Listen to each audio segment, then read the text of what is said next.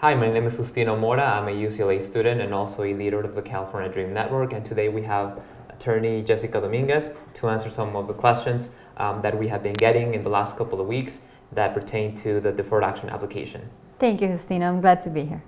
Today we're going to be um, going over the different applications um, on deferred action. The first one is Form I-821D. The second application is I-765.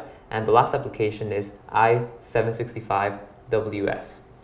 And um, just for this video, we're going to be focusing on the first application, which is I-821D.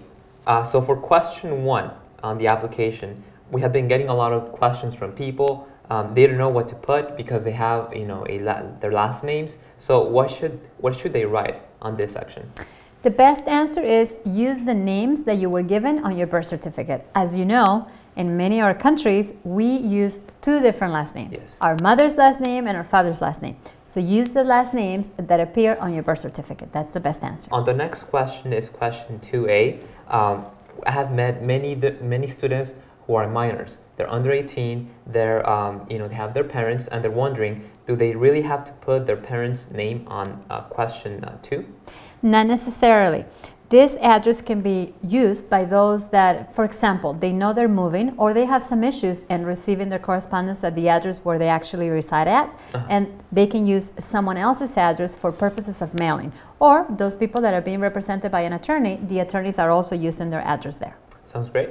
And then on the second um, uh, page of the application, many people have uh, questions um, about question five which is asking to provide a social security number. So what should people put on this section if they ever worked with a uh, fake uh, social security number? Justino, as the question reads, number five, U.S. social security number. Yes. If you don't have one, you don't need to include one.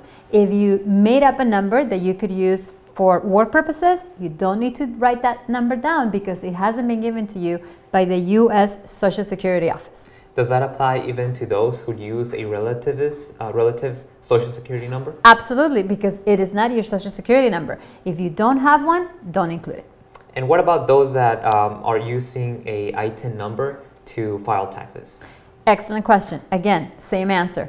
You don't need to include it because an ITIN number is not a social security number. The only number that should be written in this answer is that number that has been given to that person who actually was issued a Social Security card by the U.S. Social Security Office.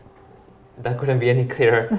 and then um, on the question is on the same page, question nine, it asking for country of residence. What should they put on this section? USA. That is the only answer that I can tell you. It's automatic as part of that of this application because everyone who applies for deferred action must reside in the United States. So the answer to question number nine is USA. Thank you. And then uh, the next question is um, question 12. Uh, many students like myself, when we were in school, um, they accidentally wrote a different name um, and maybe other others have used different uh, names. So is it required to provide those additional names um, on this section?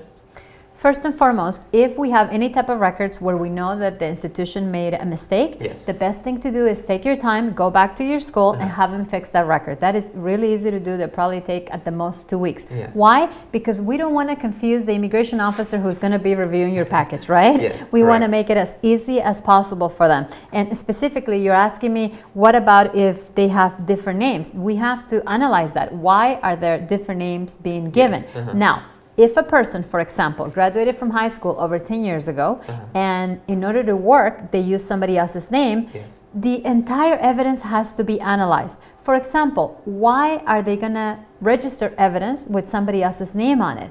Is there any other way that you can prove the past five years of continuous residence in the US? Bank accounts would be able to prove that with your name on, the, on them. So I suggest that before you decide to include any evidence that has someone else's name, that you have someone analyze the reason why you want to submit that. Question th 13 on the application, which is on page 2, um, is asking for the date of initial entry. Um, do we really have to put the exact date when we came into the U.S.? No, you can estimate that date. And if you ask the parents, many of the parents know, but a lot of the dreamers who are a little bit older, they don't Definitely. remember and they don't have a way to sometimes get that information. So an approximate date would be helpful, month and year. I have a lot of friends who already graduated from college. They have a master's degree, a doctorate degree. Someone, and they have asked me a lot of questions. Uh, what should I put on question number 18? Do I need to put that I graduated from university? We go back to the requirement. What is the requirement? The requirement is either to have your high school diploma, the equivalent, or being in school to either obtain your high school diploma or your GED, correct? Uh-huh. So the answer right. here, if you're a high school grad, that's where you write down high school grad. If you have your GED, then you write down general education development. That's very straightforward. um, so we move on to page uh, number three, and this is um, uh, the, the section where they ask for the different addresses where we have resided since we came in uh, to the United States. And many um, of those students, including myself, we moved many of those times. We lived in more than seven different places. So what should we do if we don't remember uh, most of those uh, different addresses. Thankfully, you're not going to get penalized for not remembering. Yeah. That is the good news. However, what I would recommend is review the evidence that you're going to be submitting. Based on that evidence, let's say you have a medical record yes. with an address on uh -huh. it uh-huh. that you were residing there three years ago, then that address should definitely be included. Okay. If you are submitting a high school transcript and the address is there, well, it's going to be easy for you to remember. Definitely. But you don't have to go back till back you know 10 20 years ago. If you don't remember you don't remember. Yes, just okay. use the information that you already have as the evidence that's going to be registered. Sounds great. Um, and then um, you know there's a lot of confusion. Many many students have um, stepped out of the US and, and, then came back. So there's a lot of confusion um, along those lines because we have to uh, you know prove that we have been living in the US continuously since June 15 2007 what can you tell um, th those students here is where you most get all the evidence that you have with to prove those five years from June 15th of 2007 to June 15th of 2012. Why? Let's just say you had a brief absence from the US. You had an emergency, you had to go visit uh, an ill relative, but it was a brief absence. Uh -huh. How can you prove that it was brief? Because sometimes people don't have, come on, airplane tickets. They didn't leave and come back, yes. right? Mainly the exits were brief and casual. So how do we prove that?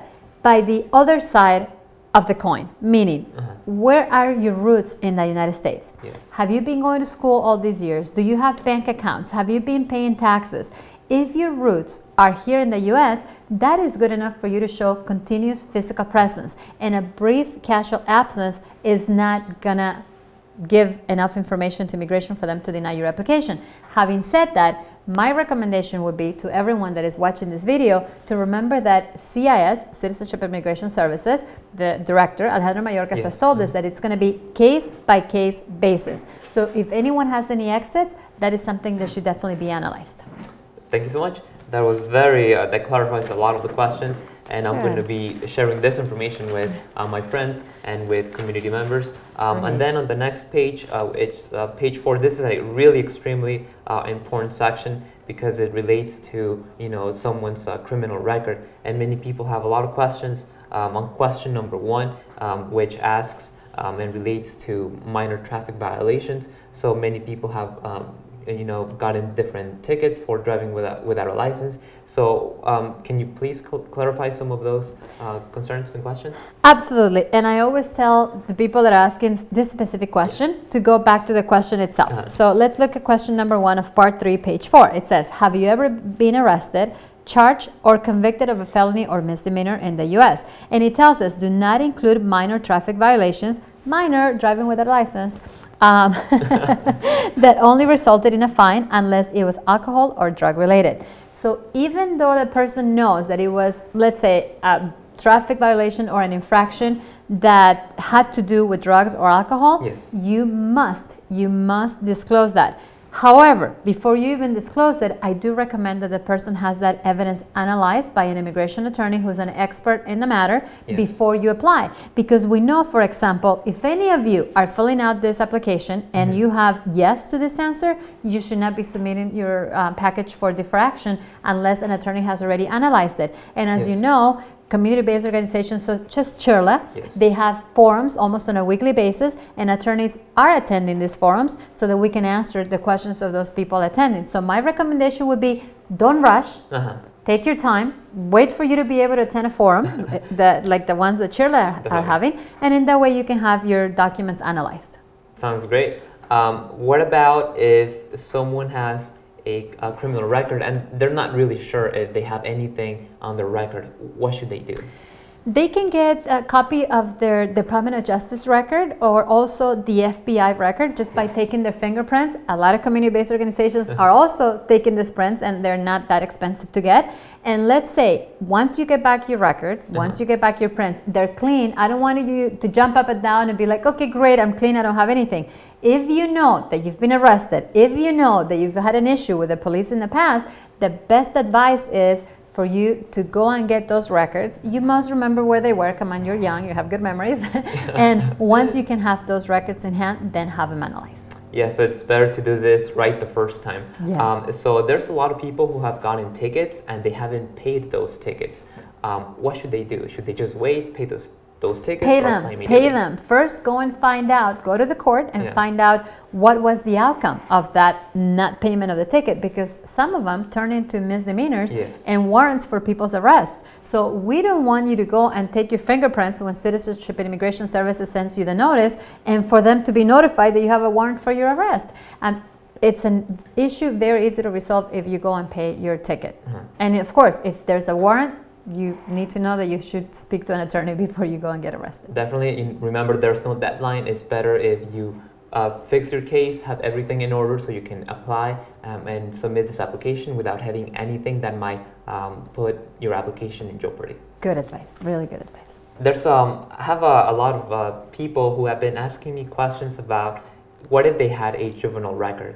Um, is that something that might disqualify them from applying to deferred action?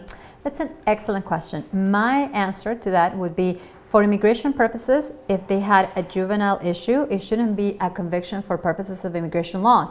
However, there are some minors that were convicted as adults.